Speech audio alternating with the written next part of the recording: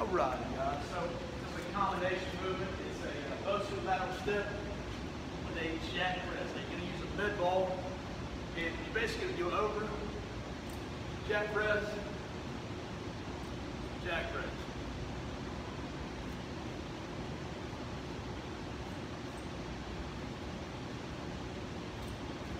So just a fun combination movement there. Definitely going to get the heart rate up, work on some agility.